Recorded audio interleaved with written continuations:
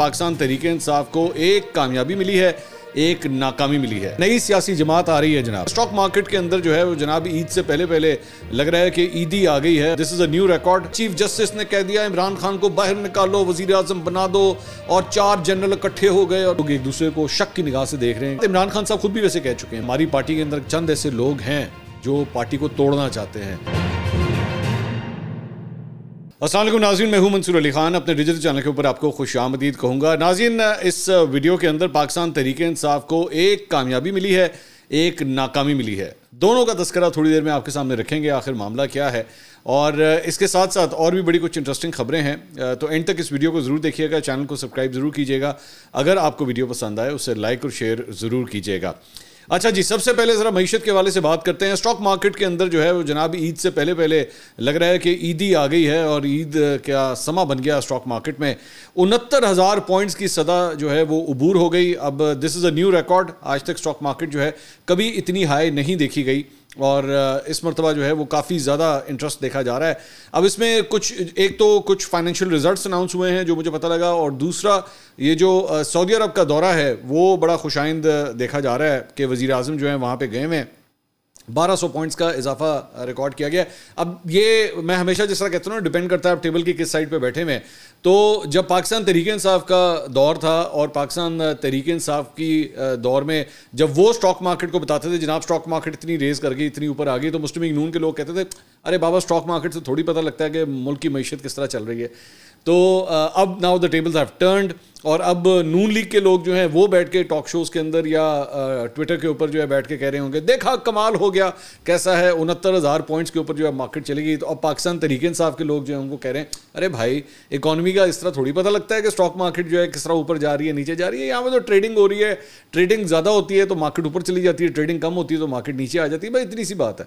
तो मैं हमेशा वही फॉर्मूला वही है डिपेंड करता है आप किस जगह पर बैठे हुए हाँ। कुछ हद तक जो है वो एक बैरोमीटर कुछ हद तक होता है, लेकिन पूरा नहीं होता। मेरा ये मानना है कि एक एलिमेंट ज़रूर है। कि हाँ ठीक है इन्वेस्टर्स का इंटरेस्ट नज़र आ रहा है फॉरेन इन्वेस्टर्स का इंटरेस्ट नज़र आ रहा है। लेकिन इससे आप ये नहीं कह सकते कि जनाब पाकिस्तान की मीशत जो है ना, वो अब उसको चार चाँद लग गए हैं। बहुत से रोड ब्लॉक्स हैं। पाकिस्तान को कर्ज़ों का बहुत बड़ा एक बोझ है। महँगाई आप देखिए, उनतीस फ़ीसद के ऊपर खड़ी हुई है। तो ये वो सारी चीज़ें हैं जो परेशान कन है मीशत के लिए। सो अभी इश्क के इम्तहान अभी और भी बहुत हैं। सिर्फ़ एक स्टॉक मार्केट से कुछ नहीं हो जाता।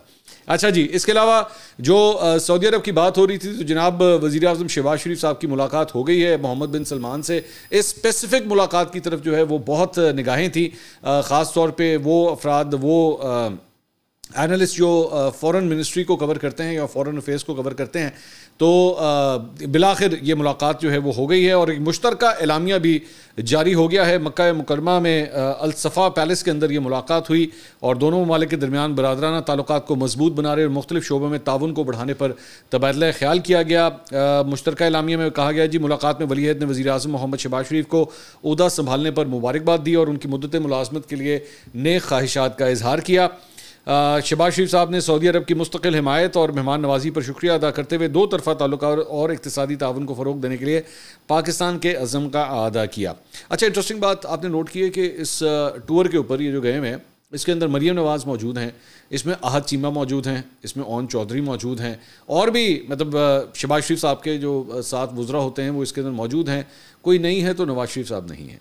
नवाज़ शरीफ साहब जो हैं वो मतलब एक मरियम नवाज़ भी देख रही होंगी कि एक वक्त था कि मेरे वालिद साहब जो है वो आते थे और यहाँ पे उनका इस तरह वेलकम होता था। लेकिन मियाँ साहब जो है वो इस दौरे के ऊपर नहीं गए विच इज़ क्वाइट स्ट्रेंज अच्छा जी, दूसरा शहबाज शरीफ साहब ने जनाब इकतदी रबता कमेटी जो है, उसकी दोबारा तश्कील नौ की है। एक दफ़ा फिर उसमें एक तब्दीली आई है और इस मरतबा विफाकी वज़ीर सनत व पैदावार राना तनवीर हुसैन साहब को भी जो है, वो ई सी सी का मेंबर बना दिया गया है। इनकी तादाद, अरकान की तादाद छः से बढ़कर अब सात हो चुकी है और इससे कबल शबाज शरीफ साहब ने तश्कील नौ पर वजी ख़जाना को ई सी सी का चेयरमैन मुकर किया था। वजी अजम ने ई सी सी की सरबराही खुद करने का फ़ैसला वापस लिया था। पहले वो खुद कर रहे थे, लेकिन उसके बाद इस फैसले को वापस ले लिया गया। अच्छा जी, एक और कंट्रोवर्सी बेसिकली एक साहब हैं इनका नाम है इब्राहिम राजा साहब. यूट्यूब चैनल अपना चलाते हैं, कहते हैं कि मैं सहाफ़ी हूँ. तो इनके जो यूट्यूब चैनल के ऊपर जो थंबनेल्स हैं ना, वो बड़े कंट्रोवर्शियल हैं. वो हमारी जर्नलिस्टिक कम्युनिटी के अंदर उनका मज़ाक उड़ाया जाता है बिकॉज़ वो इतने आउटरेजस होते हैं कि उनका कोई सर पैर नहीं होता। हेलीकॉप्टर आ गए हैं प्राइम मिनिस्टर हाउस के अंदर रात के दो बजे एंट्री हो गई और चीफ जस्टिस ने कह दिया, इमरान खान को बाहर निकालो वज़ीर अजम बना दो और चार जनरल इकट्ठे हो गए और मतलब वो ना कोई सर, ना पैर एम ही खाम खा बिला वजह व्यूज़ हासिल करने की खातिर जो है ना वो इस किस्म की चीज़ें बनाते हैं। तो अवैस यूसुफ जई जो हैं, उन्होंने इनके थंबनेल्स का एक स्क्रीनशॉट जो है वहाँ पे लगाया और उसके ऊपर लिखा यूट्यूबर्स फेक न्यूज़ डॉलर्स इन्होंने ये चीज़ लिखी। तो उसके ऊपर लिखा हुआ था जी शहबाज सऊदिया में पीछे तख्ता उल्टा दिया। फौज ने अचानक कंट्रोल संभाल लिया। कोर कमांडर हाउस से कप्तान को रिहा करने का एलामिया जारी। इमरान खान की अचानक आर्मी हाउस रवानगी। मतलब कोई कोई दूर दूर तक की, कोई सच्चाई के साथ इस बात का कोई ताल्लुक नहीं है। लेकिन मकसद सिर्फ़ ये है कि एक, जो है ना, वो हुक बनाया जाए और लोगों को जो है क्लिक बेट की तरफ़ लाया जाए कि किसी तरह वो वीडियो को प्रेस इसको वीडियो को प्रेस करें और देखें ज़रूर कि क्या है। ना इस अच्छा इन, इनकी ज़्यादातर थंबनेल्स में जो है ना फ़ौज ज़रूर कंट्रोल संभालती है। मतलब ये ये मैंने नोट किया है। या तो इनकी दिली ख्वाहिश है या पता नहीं क्या है कि फ़ौज से कंट्रोल ज़रूर संभालते हैं और इमरान खान को रिहा ज़रूर करवाते हैं। ये हर दो तीन थंबनेल्स के बाद जो है ना इमरान खान को रिहा करवाने की कोशिश कर रहे होते हैं। तो मतीउल्ला जान साहब ने इसके ऊपर एक ट्वीट किया। फरमाते हैं जनाब अवैस साहब नाम लेकर ट्वीट करें, क्योंकि ऐसे लोगों की वजह से ही सोशल मीडिया पर मौजूद सहाफ़ियों को भी बदनाम किया जाता है। क्या ये बदनाम ज़माना इब्राहिम राजा को उसके बाद उन्होंने टैग किया? नहीं है। जो सहाफ़त के चेहरे पर एक स्याह धब्बा है और हम न्यूज़ जैसे बेशरम इदारे इसको पना देते हैं, क्योंकि ये इस चैनल के थंबनेल बनाने में मदद देता है। अच्छा अब ये आ गए हैं मेरे चैनल की तरफ़। मतलब जिस चैनल पे मैं काम करता हूँ, हम न्यूज़, ये मतीउल्ला जान साहब उस तरफ़ आ गए उन्होंने कहा, हम न्यूज़ के एंकर्स को फेक न्यूज़ जैसे मौजूद पर मुबासे करवाते हुए शर्म तो आती होगी। आप ऐसे लोगों का नाम लेने से गुरेजा क्यों है? ऐसे सहाफ़त के नासूरों को इस्तेमाल करके इस्टेबलिशमेंट सोशल मीडिया और उस पर मौजूद सहाफ़ियों के खिलाफ गैर कानूनी कार्रवाइयों के लिए राह राह आमा हमवार करती है और हम जैसे सहाफ़ी भी इस काम के लिए इस्तेमाल होते हैं। ये कहकर कि यूट्यूबर्स फेक न्यूज़ और डॉलर्स और बस। नाम ना लेकर और खुले अल्फाज में इन घटिया किरदारों को बेनकाब ना करके आप भी सोशल मीडिया और इस पर मौजूद पेशावर सहाफ़ियों के खिलाफ इस्तेमाल हो रहे हैं। अब ये बात यहाँ होती जा रही है कि कुछ मेन स्ट्रीम टीवी मीडिया और उसके कुछ सहाफ़ी और एंकर्स शौरी और लाशौरी तौर पर इस्तेमाल हो रहे हैं। सोशल मीडिया पर अपने खबरी मवाद का थंबनेल भी इब्राहिम राजों जैसे किरदारों से बनवाते हैं और फिर इब्राहिम राजा जैसों के थंबनेलों की ही मिसाल देकर फेक न्यूज़ जैसे संजीदा और संगीन मसले को भी बतौर हथियार हुकूमती नाकदीन के खिलाफ इस्तेमाल करते हैं। आखिर एफ़ आई ए ऐसे घटिया असासों के खिलाफ कार्रवाई क्यों नहीं करती? अच्छा आखिरी लाइन वैसे बिल्कुल वैलिड है कि क्यों नहीं करती। लेकिन एक गलती जो मतीउल्ला जान साहब कर गए, उसमें उन्होंने पूरे के पूरे इस ट्वीट के अंदर जो है ना, इनको हम न्यूज़ का बंदा बना दिया कि जनाब ये हम न्यूज़ के अंदर जो है वो काम करते हैं। हकीकत ये है कि इस शख्स को हम न्यूज़ से अलग हुए हुए तीन साल हो चुके हैं। तीन साल। लेकिन मतीउल्ला जान साहब ने पता नहीं जाके उसका बायो पढ़ा, जो कि वो भी गलत है। मतलब जिस तरह इसके थंबनेल्स गलत है ना, इसका अपना बायो भी जो है वो गलत है। इसका हम न्यूज़ के साथ किसी किस्म का कोई ताल्लुक नहीं है। लेकिन साथ ही साथ उन्होंने बगैर चेक किए कि मैं भी ज़रा एक दफ़ा जाके एक तरह हम न्यूज़ के और बड़े इनके साथी मतलब जारी बात रिपोर्टर्स हैं, सबको जानते हैं, किसी को फ़ोन कर लें। मेरा, मुझे कॉल कर लें, मती भाई, मेरा नंबर भी उनके पास था। फ़ोन करके पूछते थे, यार, ये इब्राहिम राजा हम न्यूज़ में काम करता है? तो लेकिन आपने हम न्यूज़ को जो है वो बेशरम दारा भी कह दिया थंबनेल्स के ऊपर जो है वो और कह दिया, क्योंकि इस चैनल के थंबनेल बनाने में मदद देता है। यानी इन्होंने ये भी कह दिया कि ये हम न्यूज़ के थंबनेल भी बनाने में मदद देता है। अब एक आदमी का तीन साल से एक चैनल के साथ कोई ताल्लुक नहीं है, लेकिन आपने अपना गुस्सा निकालने का आपने चेक भी नहीं किया कि यार मैं पहले ये सारा कुछ बोलने से पहले एक दफ़ा देख लूँ कि उसका ताल्लुक है कि नहीं है। और दूसरी बात ये, चले एक मोमेंट के लिए ज़रा ये, इसको ज़रा एक दूसरे एंगल से भी देखते हैं। एक शख्स अगर बैठ के अपने यूट्यूब चैनल के ऊपर कोई किसी किस्म का फजूल मवाद बना रहा है या थंबनेल गलत बना रहा है फेक न्यूज़ बना रहा है, इसका इदारे का कसूर है क्या? मैं चले मैं कैटेगोरिकली आपको कह देता हूँ कि आज मैं अपना एक यूट्यूब चैनल यहाँ पे चला रहा हूँ। हम न्यूज़ का मेरे कंटेंट के साथ कोई ताल्लुक नहीं है। मैं कैटेगोरिकली ये बात क्लियर कर दूँ। ये गलत है ये अच्छा है मेरे प्रोग्राम मेरे इस यूट्यूब वीलॉग्स के ऊपर आपको कोई चीज़ पसंद आ रही है या ना पसंद आ रही है। I am responsible for that not Hum News Hum News बीच में कहाँ से आ गया? मेरे मैं मैं मती भाई की बहुत रिस्पेक्ट करता हूँ लेकिन दिस वॉज़ uh, मतलब एक्स्ट्रॉडनरी शॉकिंग फॉर मी कि मती भाई जो है वो इस किस्म की बात कर रहे हैं। तो इस तरह तो यानी मती मती भाई जो है वो आजकल न्यू न्यूज़ में काम कर रहे हैं। न्यू न्यूज़ की डिजिटल टीम अगर कोई भंड मारेगी जो कि मार चुकी हुई है बहुत सी ऐसी एग्जांपल्स हैं कि मार चुकी है। अब अगर मैं इसको वो जैसे ना खंगालना शुरू करूँगा तो फिर बात आगे चली जाएगी। तो क्या उसका जिम्मेदार जो है वो मती मतीउल्ला जान को ठहराना चाहिए?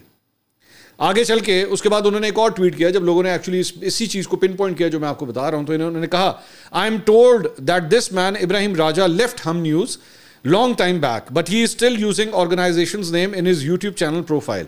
I stand corrected for that, but the fact remains that he has been doing such thumbnails since long before even joining and during his stint with the Hum New. तो वह दोबारा उन्होंने कहा हाँ वो मुझे अब पता लगा कि वो हम न्यूज़ में नहीं है हम न्यूज़ छोड़ चुका है लेकिन वो चूँकि अपना नाम लिख रहा है तो नाम तो फिर कल को कोई भी लल्लू पंजू अगर लिख ले अपना वो कहते कि जनाब मैं जियो न्यूज़ का डायरेक्टर न्यूज़ हूँ तो आप जियो न्यूज़ के ऊपर चढ़ जाएँगे इस बात के ऊपर क्योंकि सिर्फ़ उसने लिख दिया है वहाँ पर so this is this was quite unfair और इसका इसका मतलब है, कल को अगर आप अपने यूट्यूब चैनल के ऊपर कुछ भी करते हैं, कोई भी बात करते हैं तो लानत, मलामत जो है वो न्यू न्यूज़ को करनी है। मतलब if you do something on your YouTube channel basically आपके, आपका जो टीवी चैनल है, जिस पे आप प्रोग्राम करते हैं, क्या उसको भी बुरा भला कहना है? So I think this was unfair comparison but we have a difference of opinion over here respectfully मैं सिर्फ़ इतनी बात कहूँगा। अच्छा जी, दूसरा, एक और जो है जनाब, जो खबर है, नई सियासी जमात आ रही है, जनाब। और नई सियासी जमात कोई और नहीं बना रहा, बल्कि सबक वजी अजम शाहिद खा खान अब्बासी साहब जो है, वो नई सियासी जमात बना रहे हैं। कई महीनों से ऑलरेडी ये बातें हो रही थी, बल्कि मेरी इतलात के मुताबिक इसका जो थिंकिंग प्रोसेस था, इस बात को तो अब साल से भी ऊपर हो चुका है। और मैंने मुझे अच्छी तरह याद है, मैंने 2023 के आगाज़ के अंदर उस वक्त ये ख़बर दी थी कि जनाब ये वो इमेजिनिंग पाकिस्तान के नाम से, वो पता नहीं री पाकिस्तान के नाम से जो है, वो इस तरह के वो उन्होंने शुरू किए हैं। और बेसिकली इसमें जो लोग शामिल हैं, उसमें शाहिद का खान अब्बासी साहब, जो थिंकिंग कम अज़ कम प्रोसेस में शामिल थे, मतीउल्ला जान सॉरी मतीउल्ला जान कह रहा हूँ। इसके अलावा मफ्ता इस्माइल, वो इसके अंदर शामिल थे और और भी मतलब कुछ लोग हैं, जिनके साथ ये डिस्कशंस जो है ना, वो चल रही थी।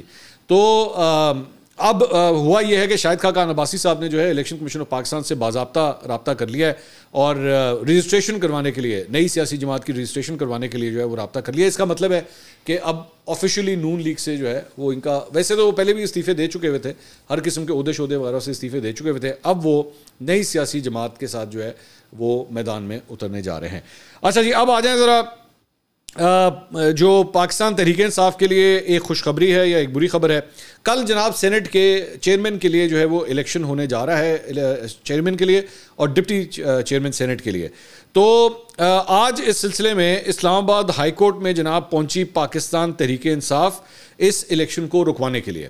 और चीफ जस्टिस आमिर फारूक ने रजिस्ट्रार ऑफ़िस की जानब से एतराज़ा लगाए हुए थे, लेकिन एतराज़ा के बावजूद के साथ ही उन्होंने इसकी समात की।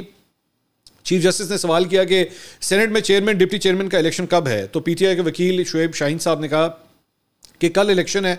अगर इलेक्शन रोक दें और ईद के बाद इलेक्शन हो जाए तो क्या हर्ज है? चीफ जस्टिस ने कहा कि यह देखना होगा कि इलेक्शन रोक भी सकते हैं या नहीं। क्या यह मामला पिशावर हाईकोर्ट में भी जेर समात है? तो शेब शाहीन साहब ने जो वकील हैं, उन्होंने कहा कि वहाँ अलग मामला है। यहाँ चेयरमैन और डिप्टी चेयरमैन सेनेट के इलेक्शन को चैलेंज किया है। कल इलेक्शन होने जा रहा है और हमने उसको चैलेंज किया है। इलेक्शन कमीशन ने मखसूस नशस्तों पर हलफ ना लेने पर खैबर पख्तूनख्वा में सेनेट इलेक्शन मुलतवी कर दिए हैं। अब खैबर पख्तूनख्वा के सेनेटर के बगैर कल चेयरमैन और डिप्टी चेयरमैन सेनेट का इंतबाब होने जा रहा है। ये मखसूस नशस्तों का मसला था।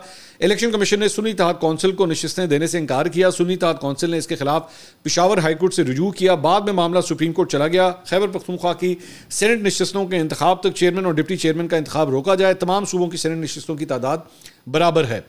चीफ जस्टिस ने पूछा कि जी, क्या फाटा का अब क्या होगा? तो शेब शाही साहब ने कहा कि फाटा को खैबर पख्तूनख्वा में जम कर दिया गया है। बाकी सूबों में सेनेट इलेक्शन हो गए हैं। खैबर पख्तूनख्वा में मुलतवी कर दिए।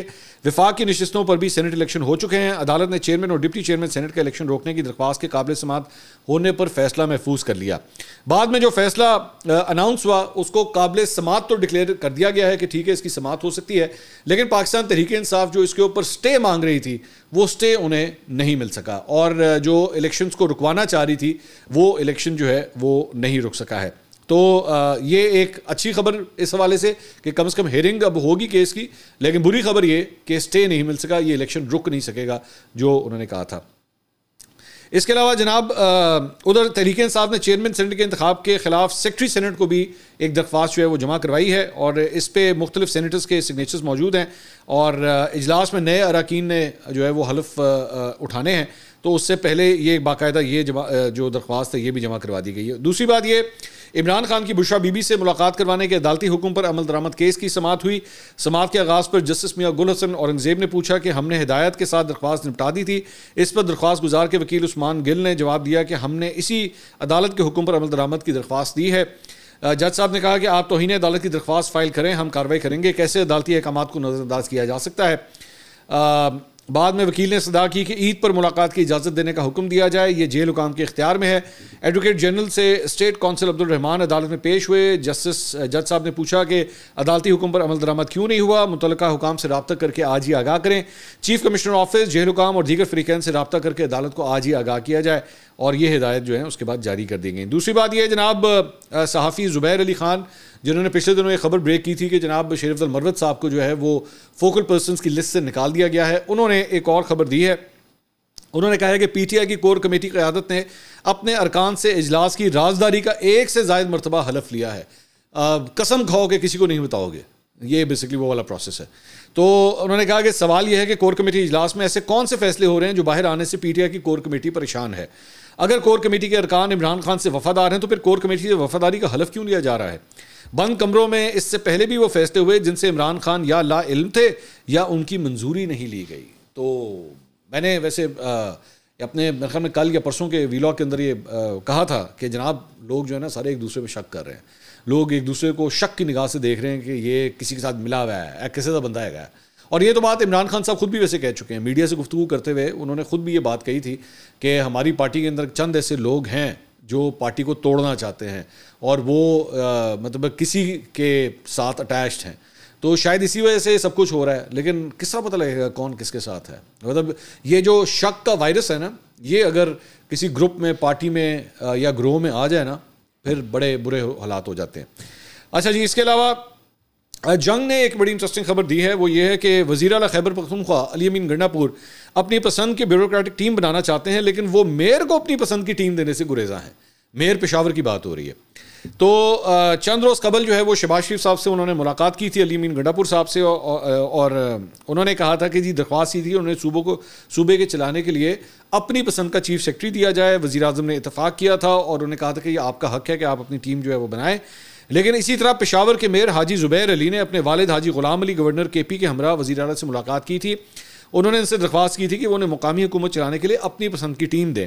उन्होंने उन्हें हिमायत का यकीन दिलाया और उन्हें अपनी पसंद की टीम भी देने का वादा किया, लेकिन उन्होंने मेयर की पसंद के किसी अफसर को तैनात करने की कोई हिदायत अभी तक जारी नहीं की है। बैरिस्टर सैफ का कहना है कि मतलूबा अफसर मौजूद है तो मेयर पेशावर को पसंद की टीम दे देंगे। जे यू आई के सेक्रेटरी इतला जलील खान ने कहा है कि पी टी आई का ये दोहरा मैार है। तो पीटीआई के दौरा में आ रहा है, लेकिन साथ ही साथ पीटीआई के साथ मिलकर अपने ग्रैंड लाइन्स भी बनानी है, जिसमें अभी बैठ के हुकूमत के खिलाफ एहतजाज करना है। ऐसे सानू अपनी टीम ही नहीं मिलती पई। ये सूरत हाल है। खैर, अगली वीडियो में आपसे दोबारा मुलाकात होगी। अल्लाह हाफ़